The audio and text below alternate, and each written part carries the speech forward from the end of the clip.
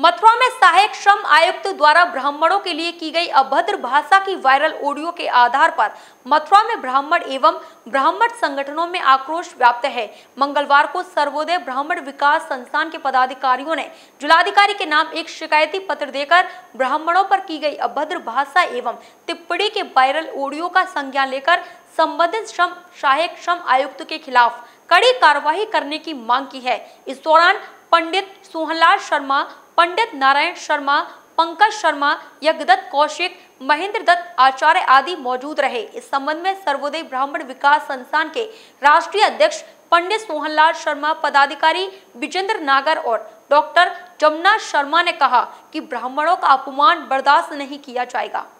मथुरा के समस्त ब्राह्मण समाज, सर्वोदय ब्राह्मण संस्था तथा समस्त ब्राह्मण की ओर से आज मथुरा के जिलाधिकारी महोदय को हम ये ज्ञापन देने आए हैं कि ब्राह्मणों के प्रति मथुरा के श्रम आयुक्त द्वारा जो गालियाँ वगैरह दी गई हैं तो जाति सूचक शब्द किए गए हैं तब भद्दी भद्दी भाषा का प्रयोग किया गया है।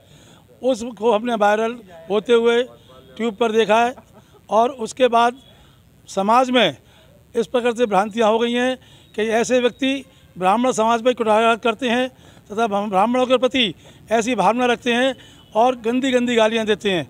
उस सबको देखते हुए आज समस्त ब्राह्मण की ओर से सर्वोदय ब्राह्मण विकास संस्थान द्वारा जिलाधिकारी को ये ज्ञापन दिया गया गया है कि वे अविलंब उक्त अधिकारी के प्रति कार्रवाई करें तथा उसको सस्पेंड करें तथा नौकरी से निकालें। नहीं तो ब्राह्मण समाज पूर्ण रूप से आंदोलन होगा और उसके प्रति आंदोलन किया जाएगा कि उसने ब्राह्मण समाज को बहुत छोटा समझा है तथा ब्राह्मण समाज को तुच्छ समझा है और ऐसी ऐसी व्यक्ति करके जिस प्रकार से उसने कार्य किए हैं, उसको अवलंब अपनी नौकरी से समाप्त किया जाए। सर्वोदयी ब्राह्मण विकास संस्थान एवं ब्रह्म भारती द्वारा आज जिलाधिकारी के नाम एक सिटी मजिस्ट्रेट महोदय के को एक ज्ञापन सौंपा गया है, जिसमें श्रम अपर आयुक्त द्वारा जिस तरह से ब्राह्मण समाज को अपमानित किया गया है, उनके खिलाफ अभद्रतापूर्ण जो शब्द कहे गए हैं, उनको निंदा करते हुए हम सभी ने यह ज्ञापन यहाँ सौंपा है। विप्र समाज हमेशा कणवंत विश्व मार्ग की बात करता है, संपूर्ण विश्व को कल्याण देने की बात करता है। आज उस ब्राह्मण समाज को अपमानित किया जा रहा है। इस तरह से जिस जो अधिकारी इस तरह की बात करेगा, उसको ब्राह्मण समाज किसी भी कीमत पर बर्दाश्त नहीं करेगा और आवश्यकता पड़ने पर जो भी कदम उठाए जा सकते हैं, कठोर से कठोर, वो ब्राह्मण समाज उठाएगा। और आज हम जिलाधिकारी से ये मांग करने आए हैं कि ऐसे अधिकारी के खिलाफ सख्त से सख्त कार्रवाई करें और उनके खिलाफ एफआईआर दर्ज करके उनको तुरंत जेल भेजने का काम करें। सर्वोदय ब्राह्मण विकास संस्था की महिला बिक की ओर से आज हमने डीएम साहब को ज्ञापन दिया है। ये बताना चाह रहे हैं हम कि ब्राह्मण ब्राह्मण वो चीज़ है, सबको देता है, लेता कुछ भी नहीं है। लेकिन आजकल जो लोग बागों के विचार इतने गलत हो गए हैं ब्राह्मणों के प्रति